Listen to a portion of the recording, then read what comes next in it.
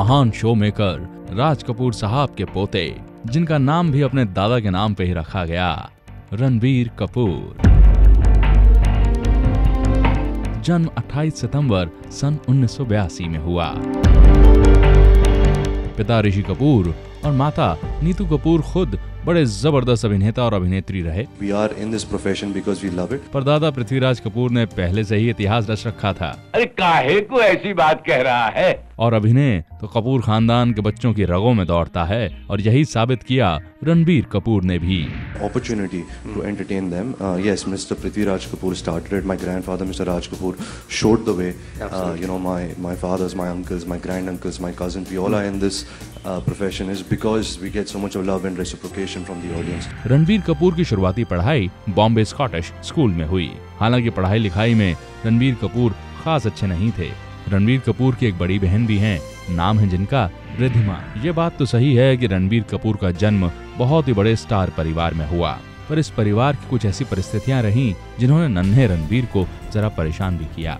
माता पिता के बीच अक्सर झगड़े और वाद विवाद चलते थे। कभी कभी आवाज़ें इतनी ऊँची हो जाया करती थीं कि नन्हा रणबीर अपना सर अपने घुटनों के बीच छिपा लिया करता था और सुबह तक इंतज़ार करता था कि कब माँ बाप की लड़ाई बंद हो।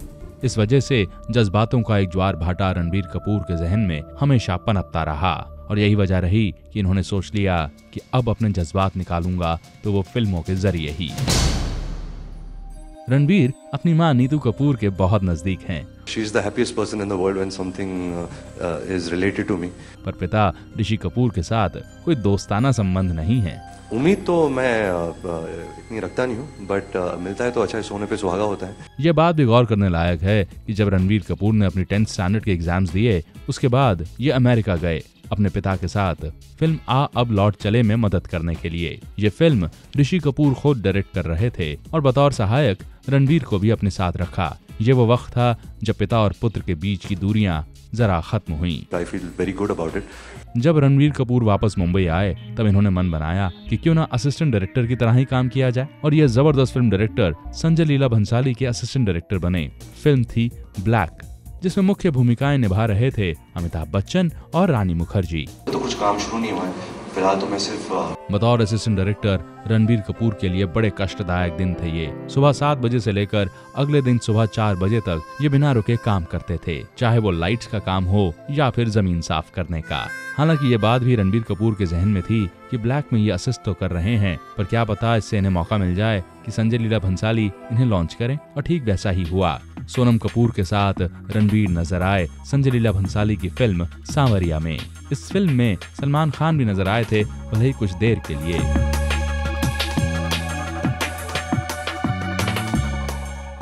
कौन जानता था कि एक वो वक्त भी आएगा जब सलमान और रणबीर को लेकर ही कुछ अजब बातें सामने आएँगी?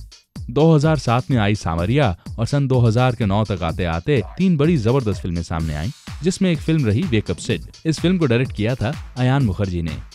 प्रकाश झा की मल्टी स्टारर फ़िल्म राजनीति में भी रणबीर कपूर नज़र आए थे और ये फ़िल्म अंग्रेज़ी फ़िल्म द गॉड फादर से प्रेरित नज़र आई फ़िल्म पर काम कर रहे थे तो किसी के पास इतना कॉन्फिडेंस नहीं था कि हम ये फ़िल्म चलेगी या ना चलेगी सब जानते थे नया सितारा आ गया है इसके बावजूद कि पहली फ़िल्म सावरिया बॉक्स ऑफ़िस पर कोई जादू नहीं दिखा पाई थी Sabra released, it was a disaster and it didn't really affect me too much. So I don't get affected by success or failure. Ranbir Kapoor film industry की उम्मीद बन गए लगा कि एक बार फिर एक कपूर ऐसा आया है जो सबको हिला के रख देगा।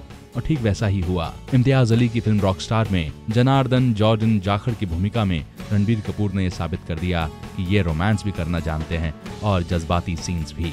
अपनी एक्टिंग की तैयारी के लिए ये दिल्ली के एक जाट परिवार के साथ रहे, ताकि सीख सकें वो सब कुछ जो उनके किरदार के लिए ज़रूरी था। किरदार है जनार्दन जाखड़। ये एक जाट बॉय है दिल्ली का। रणबीर कपूर की फ़िल्म ये जवानी है, दीवानी को कौन भूल सकता है? इसे भी अयान मुखर्जी ने ही डायरेक्ट किया था और इस फ़िल्म ने एक बहुत बड़ी दीवार गिरा दी थी। बात दरअसल यूँ रही, जब रणबीर कपूर फ़िल्मों में आए, तब फ़िल्म बचना हसीनों की शूटिंग के दौरान इनकी नजदीकियाँ बढ़ी, इनकी हीरोइन दीपिका पाडुकोण के साथ। बात यहाँ तक पहुँच गई थी कि दीपिका पाडुकोण ने अपनी गर्दन पे एक टैटू बनवाया था और उस टैटू में लिखा था, आर के। हालाँकि कुछ वक्त के बाद ये रिश्ता टूट गया।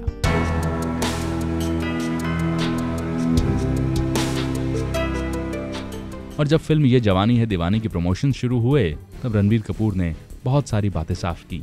यहाँ तक कहा कि वो दीपिका के बच्चों के गॉडफादर बनना चाहते हैं। गॉडफादर का मतलब क्या होता है कि someone who you really are fond of उनके जो बच्चे होंगे you want the kids to kind of look up to you want to kind of mentor the kids you know you want to give them correct values पता नहीं अगर मेरे बच्चे होंगे या नहीं uh, लेकिन इसके तो ज़रूर होंगे। रणबीर कपूर के करियर में जहाँ हिट्स रहीं तो वहाँ पर कुछ ऐसी फ़िल्में भी रहीं जिन्होंने वो सफलता हासिल नहीं की। पर इसी बीच कुछ तस्वीरें सामने आईं जिन्हें देख के ऐसा लगा कि रणबीर कपूर और कतरीना कैफ एक रिश्ते में हैं। ये बात भी कही गई कि अजब प्रेम की गजब कहानी फ़िल्म की शूटिंग के दौरान ये नजदीकियाँ बढ़ी थी। रणबीर कपूर ने अपनी मम्मी नीतू कपूर और पिता ऋषि कपूर के साथ फ़िल्म बेशरम में काम किया पर बॉक्स ऑफ़िस पर यह फ़िल्म औंधे मुँह गिरी।